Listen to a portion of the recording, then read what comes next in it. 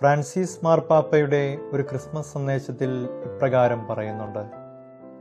സമൂഹത്തിൽ ഒറ്റപ്പെട്ടവരും തഴയപ്പെട്ടവരുമായ ആട്ടിടയർക്കാണ് ആദ്യം പുൽക്കൂട്ടിലെത്തി ഉണ്ണിയേശുവിനെ കാണാൻ ഭാഗ്യം ലഭിച്ചത്.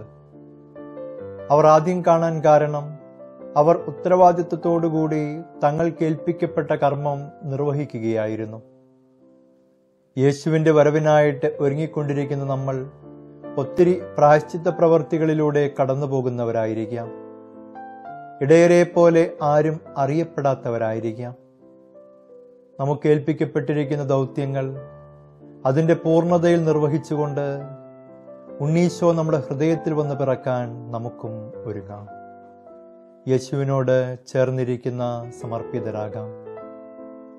ജീവിത പങ്കാളിക്കും മക്കൾക്കും കുടുംബത്തിനും വേണ്ടി സമർപ്പിക്കപ്പെട്ട മാതാപിതാക്കളാകാം.